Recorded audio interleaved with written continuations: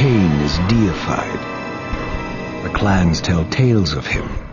Few know the truth. He was mortal once, as were we all. However, his contempt for humanity drove him to create me and my brethren. I am Raziel, firstborn of his lieutenants. I stood with Kain and my brethren at the dawn of the Empire. Served him a millennium. Over time, we became less human and more divine. Kain would enter the state of change and emerge with a new gift.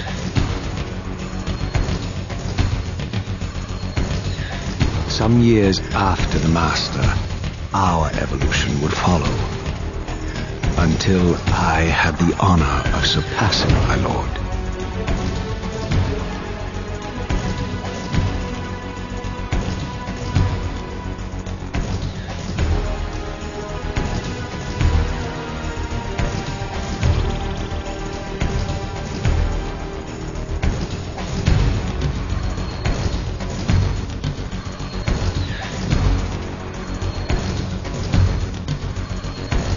My transgression, I earned a new kind of reward.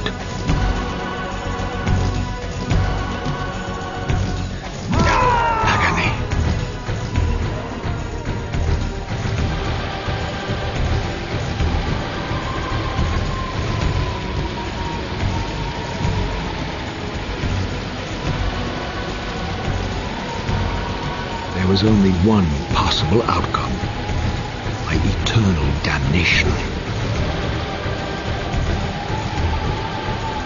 I, Raziel, was to suffer the fate of traitors and weaklings, to burn forever in the bowels of the lake of the dead. Cast him in.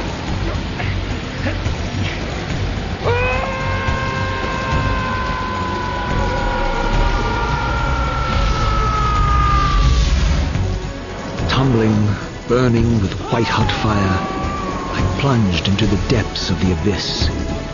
Unspeakable pain, relentless agony. Time ceased to exist. Only this torture and a deepening hatred of the hypocrisy that damned me to this hell.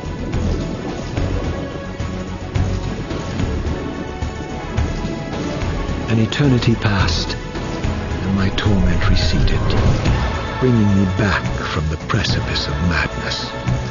The descent had destroyed me, and yet I lived.